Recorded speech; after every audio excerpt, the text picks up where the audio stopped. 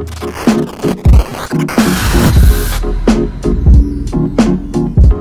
the P200 V1 was launched, it looked like the best PSU that you could have for any bench work.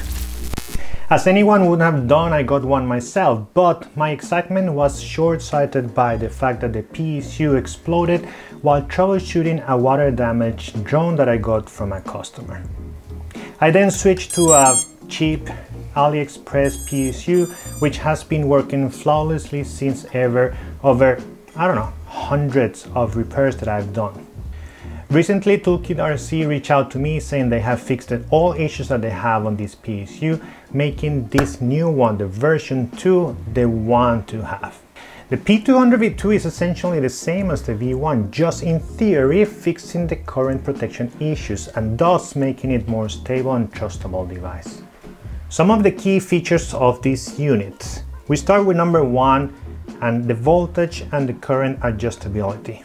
If you look at the front of this unit, the P200V2 allows for precise voltage and current adjustment, which is crucial when you are working with delicate electronics.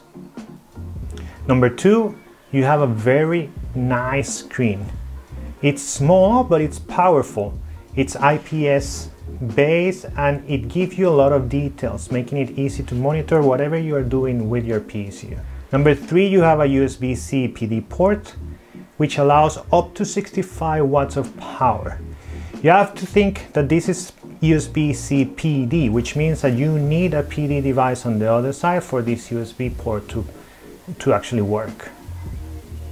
But then you can use this port to charge phones, laptops, power anything else. And for example, I use my preferred 1S charger from ViFly with this PSU. Number four, and one of the most important for me is the compact design. The device is very small in size, so it's not taking a lot of place of my bench. And number five, well, they're claiming that they have current protection and according to the manual, this is true. So far, the tests that I've done are showing that it's working and that it actually has it, but nothing will tell us more than time.